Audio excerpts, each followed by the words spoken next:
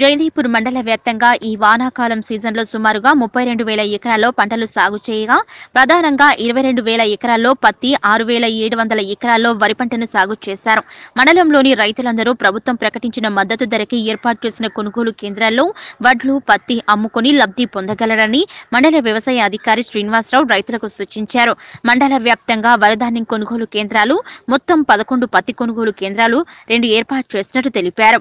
ప్రాథమిక వ్యవసాయ సహకార సంఘం ద్వారా ఏడు ఐకేపీ ద్వారా నాలుగు మొత్తం పదకొండు వరిధాన్యం కొనుగోలు కేంద్రాలు రెండు సీసీ ద్వారా ఒకటి గొల్లపల్లి కాటన్ మిల్ అలాగే అలీరాజ్పేట విశ్వతేజ కాటన్ మిల్లులో పత్తి కొనుగోలు కేంద్రాలు ఏర్పాటు చేశామన్నారు.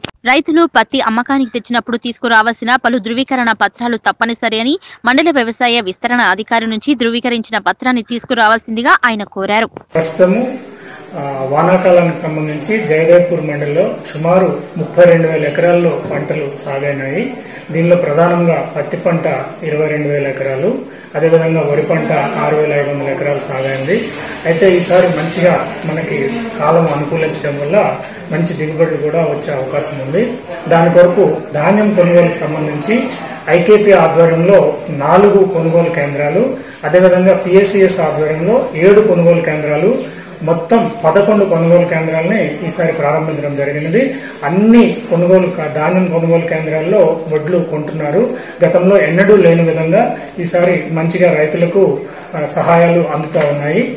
అదేవిధంగా పత్తికి వచ్చేసరికి మనకి రెండు కొనుగోలు కేంద్రాలు ఉన్నాయి సిసిఐ తరఫు నుండి. ఒకటి గొల్లపల్లిలో ఒకటి ఉంది. తర్వాత అదేవిధంగా అల్రాజ్పేటలో పత్తి మిల్లులో కొంటున్నారు. దీనికి ఏంటంటే రైతులు కంపల్సరీ వాళ్ళు పండించిన పంట తాలూకా విస్తీర్ణము ఎంత దిగుబడి వస్తుందనేది మా ఏఈఓల ద్వారా ధృవీకరించుకొని తీసుకొని వెళ్తే సరిపోతుంది.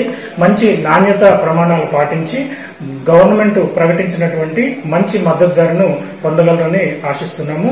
అదేవిధంగా వడ్లు కొనుగోలు కేంద్రాల్లో కూడా ఎవరు కూడా తొందరపడాల్సిన అవసరం లేదు. దాదాపు గతంలో ఎన్నడూ లేని విధంగా మనకి పదకొండు కేంద్రాలు అంటే దాదాపు వరి పండించే అన్ని గ్రామాల్లో కూడా కొనుగోలు కేంద్రాలు ఉన్నాయి కాబట్టి రైతులు ఎటువంటి ఇబ్బంది లేకుండా వాళ్ళ పంటను మంచి ధరకు మంచి నాణ్యత ప్రమాణాలు పాటించి ఆ,